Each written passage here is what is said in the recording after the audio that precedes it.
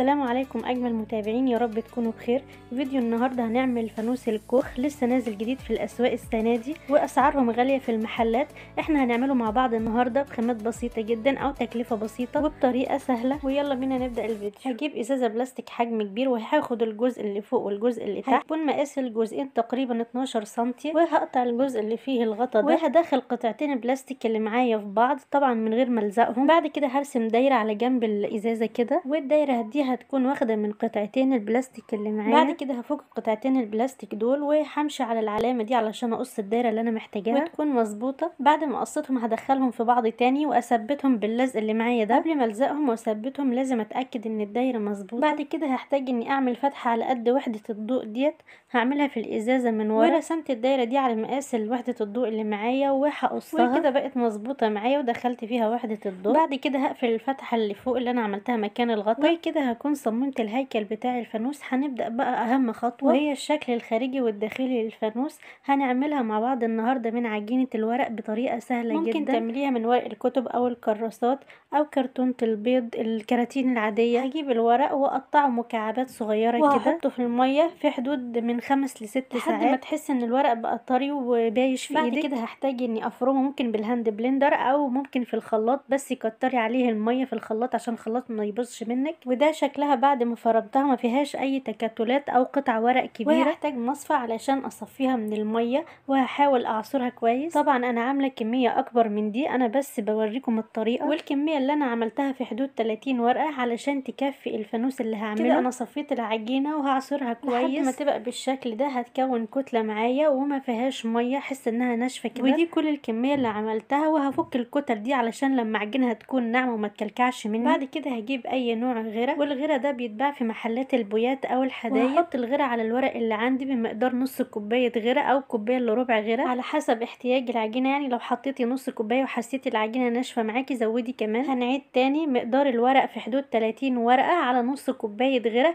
حسب احتياج العجينة هتزودي الغيره طيب أكيد في ناس هتسألني هل في بديل للغيره أيوه في بديل للغيره ومكونات بديل الغيره هتكون ست معالق دقيق 3 معالق سكر معلقتين خل والمية على حسب احتياج العجينة. لو انت هتزودي في المقادير يبقى السكر نص كمية الدقيق. لو هتعملي كوباية دقيق يبقى نص كوباية سكر. طيب الطريقة هتكون إزاي؟ هنجيب الدقيق ونحط عليه السكر ونقلب على الناشف. وبعدين هحط المية دفعة دفعة لحد ما اوصل للقوام الكريمي. بعد كده هحط معلقتين الخل وهقلب كويس وبكده هيكون معايا بديل الغيرة. وهعجن العجينة كويس سواء بالغيرة أو ببديل الغيرة الاتنين نفس النتيجة. وده شكل العجينة والملمس بتاعها ناعم. بعد كده هحط العجينة العجينه في كيس وأسيبها ترتاح يعني في حدود ساعة. فانا كنت مستعجلة واشتغلت بيها على طول والنتيجة برضو كويسة. هفرغ الكيس من الهواء وهقفله كويس. لو أنت عايزة تحتفظي بالعجينة لمدة كذا يوم هتدهني الكيس مادة دهنية وبعدين هتحفظي فيه العجينة. ممكن يقعد معاك أربع أو خمس أيام. الخطوة اللي بعد كده هلزق العجينة على الإزازة اللي أنا عملتها. هجيب الغرا وهدهن المكان اللي هحط فيه العجينة وهنلزقها الأول من جوه. هفرد العجينة بالشكل ده كده على إيدي. وبعدين هثبتها في المكان اللي أنا هلزقها فيه. هفرد العجينة كويس وهسويها علشان ما يكونش فيه كتل معايا أو مطبات. وتقديرا للمجهود ده ما تنسيش تعملي like وتكتبي رأيك في comment جميل زيك ولو أول مرة تدخلي قناتي ما تنسيش تعملي اشتراك وتفعلي الجرس علشان توصلك فيديوهاتي الجاية.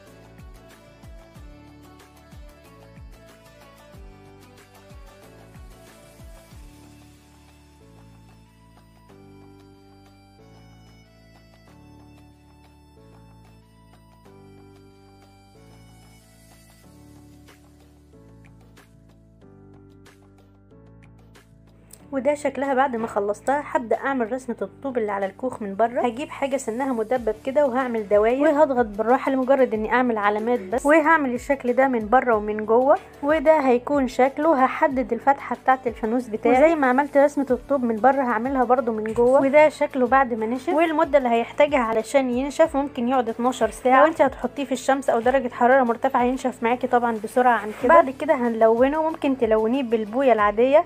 أنا رشيته بالسبراي الذهبي ده. وممكن تلونيه بالألوان المية بس هيكون باهت معاكي وشكله مش قد كده. وبعد الدهان ما نشف معايا هجيب القلم الألوان ده وهلون بعض الطوب بشكل عشوائي. لو لونتيه ببوية هيكون أفضل طبعا من القلم الألوان. بعد كده هعمل الإيد بتاعته هجيب الخيط الخيش ده وهعمل فتحتين من الجنب كده من فوق علشان أدخل فيهم الخيط الخيش. هجيب طرف الخيط وهعمله عقدة كده. وهدخله من جوه في الفتحة اللي أنا عملتها. وهطلعه وهدخله من الفتحة التانية وهربطه من جوه. آخر خطوة معايا هعمل الديكور اللي على الفانوس من جبت بره. فوم وعملت عليه رسمة الهلال ده وبعدين جبت ورقه بالشكل ده وقصيتها وكتبت عليها كلمة رمضان. وهلزقها فوق الفتحة بتاعة الفانوس وهلزق الشكل ده كمان على رأس الفانوس من فوق. وده فنانيس اللي نزلته الفيديو اللي فات. عملته من عجينه السيراميك وهسيب لكم الطريقة في صندوق. ودي وحدة الضوء والصوت اللي هحطها في الفانوس من ورا كده. ودي بتكون موجودة في المكتبات أو في محلات اللي بتبيع مستلزمات رمضان. يا هلال. هنعمل مع بعض النهارده فانوس أيكيا ده وطبعا عملته قبل كده بالشكل في ناس طلبت إني أعمله تاني بس شكل الشبابيك يكون أسهل من كده. فعملت الشكل التاني من فانوس أيكيا اللي أنتوا شايفينه ده. ويلا بينا نبدأ الفيديو. هجيب حاجة بلاستيك زي دي كده شكل البولة أو تستخدمي أي حاجة متوفرة عندك بنفس الشكل. بعد كده هجيب إزازة الحاجة الساقعة اللي هي حجمها واحد لتر وهقص الجزء اللي تحت من الإزازة. طيب مقاس الجزء اللي قصيته ده هيكون 14 ونص سنتي علشان هدخل الجزئين دول في بعض بس مش هلزقهم دلوقتي. بعد كده هجيب قطعة الإزازة دي وهرسم عليها فتحة بالشكل ده وهقصها علشان هتكون دي باب الفانوس اللي معايا أو الفتحة اللي هدخل منها وحدة الضوء. بعد كده هجيب الغطا اللي معايا أو العلبة اللي معايا دي وهرسم عليها نجوم وهقص النجوم دي وناخد بالنا كويس من الخطوات علشان النتيجة تطلع مظبوطة وهيكون ده شكلها بعد ما فرغت النجوم اللي عملتها. بعد كده هجيب حاجة بالشكل ده. لو الحاجة دي مش هتكون متوفرة عندك ممكن تجيبي إزازتين بلاستيك وهتاخدي منهم الجزء اللي فوق وهتقصي المكان بتاع الغطا وبعدين هتلزقي الجزئين في بعض هيديكي نفس الشكل ده. ودلوقتي هلزق الشكل ده على العلبة اللي معايا وهجيب سلك كهربا زي كده وهتنيه بالشكل ده علشان أعمله إيد الفانوس. والشكل اللي أنا لزقته على العلبة ده من فوق عملت فتحتين من الجنب علشان أدخل فيهم إيد الفانوس. وبكده هكون خلصت الجزء اللي فوق من الفانوس هبدأ أعمل القاعدة. هجيب غطا زي ده كده وهقص دايرة من الكرتون على مقاس فتحة الغطا وهلزقها كويس. وهجيب دايرة تانية صغيرة وهلزقها على الغطا من تحت علشان أعمل وزن في الغطا ويكون مظبوط في الشكل معايا. وبكده هيكون معايا الجزء اللي فوق من الفانوس وجسم الفانوس والجزء اللي تحت أو القاعدة بتاعة الفانوس. ودلوقتي هنعمل الشبابيك هجيب خمس قطع من الكرتون مقاس كل قطعة. العرض هيكون خمسة ونص سنتي والطول هيكون عشرة سنتي. وطبعا كل القطع هيكونوا نفس المقاس. بعد كده هحدد الكرتون من جوه والإطار ده هي 8 مللي من كل الاتجاهات. وهفرغه بالشكل ده كده. ممكن تعملي الإطار يكون واحد سنتي بس هيكون شكله مش ظريف. يعني أنسب مقاس ليه هو 8 مللي. بعد كده هجيب اللزق الورق ده وبيستخدموه في دهانات الحوائط. يعني هيكون متوفر في محلات الدهانات والبويات. ولو مش هيكون متوفر عندك ممكن تستخدمي اللزق العادي. بس ده أنسب وأفضل. بعد كده هلزق كل الشبابيك في بعض بنفس الطريقة كده.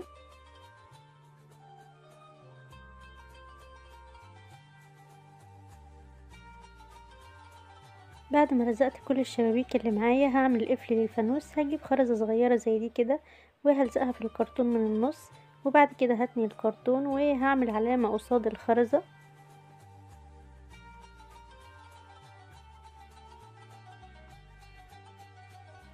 بعد كده هجيب قطعة من الخيط زي دي كده أو سلك وهلزقها على مكان العلامة اللي عملتها.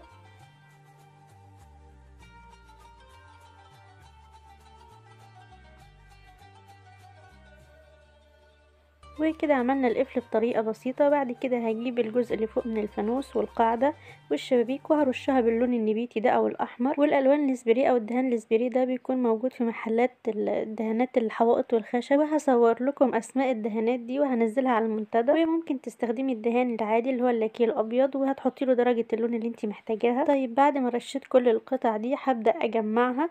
هجيب الجسم بتاع الفانوس اللي هو الازازة البلاستيك وهلزقها على القاعدة كده. طبعا إحنا مش هنلزق الشمع على البلاستيك مباشر علشان ما يسيحش هنحطه الأول على الكرتون وبعد كده هثبت عليه الإزازة بلاستيك.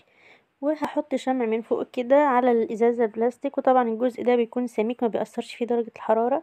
وهركب الغطاء أو راس الفانوس كده. وآخر خطوة هي تثبيت الكرتون على الإزازة البلاستيك. هجيب الشبابيك اللي أنا عملتها وهلزق أول طرف على بداية الفتحة اللي عملتها في الإزازة البلاستيك وهلزق فيها الشباك بس هلزقه من النص. علشان باقي الشبابيك تتظبط معايا لو لزقتها من الطرف هيكون في لخبطة شوية. وهلزق باقي الشبابيك بنفس الطريقة كده. وهسيب آخر شباكين من غير لزق علشان هيكونوا ده باب الفانوس.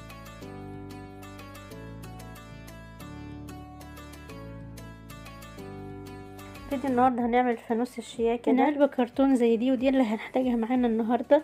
وهجيب قطعتين من الكرتون على مقاس الفتحة بتاعة الكرتونة الكبيرة اللي معايا. وهجيب كمان الجزء ده من اللمبة. وهلزقه على أول قطعة كرتون بس الأول هعمل دايرة في النص كده.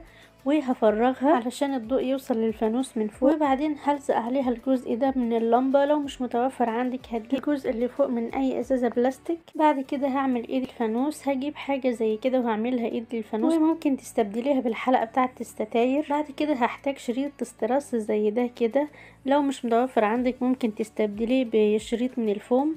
وهلزقه على حرف قطعة الكرتون اللي معايا بحيث يعمل لي شكل غطا. علشان أقدر ألزقه كويس وحرف الكرتونة الكبيرة ما يبانش معايا في الشغل. وكده خلصت قمة الفانوس أو الجزء اللي فوق من الفانوس وهبدأ أعمل القاعدة بتاعة الفانوس. هجيب برضو شريط من الاستراس وأعمله بنفس الطريقة اللي عملت بيها الجزء اللي فوق من الفانوس. بعد كده هقلبه وهجيب أربع خرزات زي دول أي نوع خرز موجود عندي. وهلزقهم على الكرتون كده علشان يكونوا دول رجول الفانوس اللي معايا.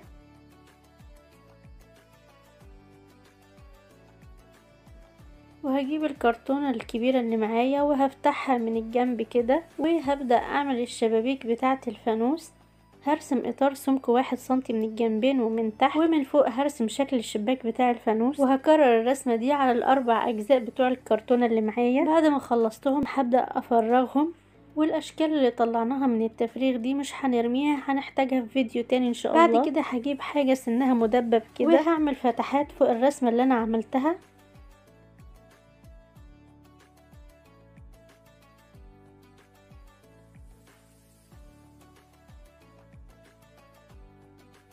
بعد ما عملت الفتحات على كل الكرتون هجيب كل القطع اللي عملتها وهرشها باللون الأبيض وده شكلها بعد ما رشيتها. وهجيب الورق الملون ده موجود في المكتبات اسمه جلاد فوانيس. وهقلب الكرتونة كده وهبدأ ألزق الجلاد ده على الشبابيك بس مش هحطه على كل الشبابيك أنا هسيب شباك واحد مفتوح علشان أدخل منه الضوء.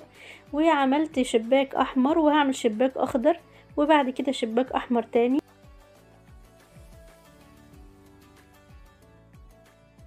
بعد كده هقفل الكرتونة من الجنب ومن تحت كويس.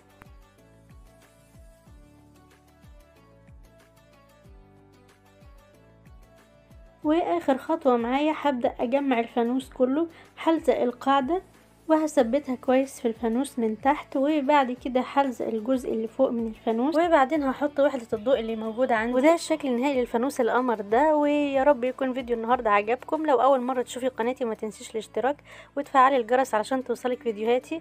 ولو انت مشتركة فعلا ما تنسيش تدعميني باللايك والشير وأشوفكم الفيديو الجاي على خير.